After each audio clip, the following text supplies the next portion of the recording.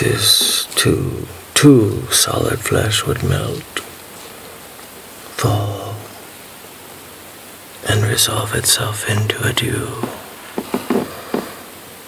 All that the everlasting and not fixed is canon against self-slaughter.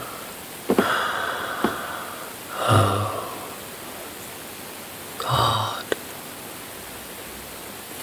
God, how weary, stale, flat, and unprofitable seem to me all the uses of this world. Violent. Oh, ah, vi. Tis an unweeded garden that grows to seed. Things rank and gross in nature possess it merely that it should come to this. But two months dead, nay, not so much, not two. So excellent a king that was to this Hyperion as to a satyr, so loving to my mother that he might not beteem the winds of heaven visit her face too roughly.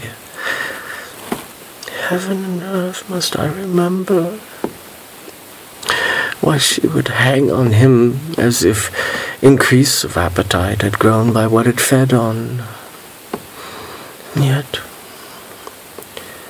within a month, let me not think on't. Frailty, thy name is woman. A little month.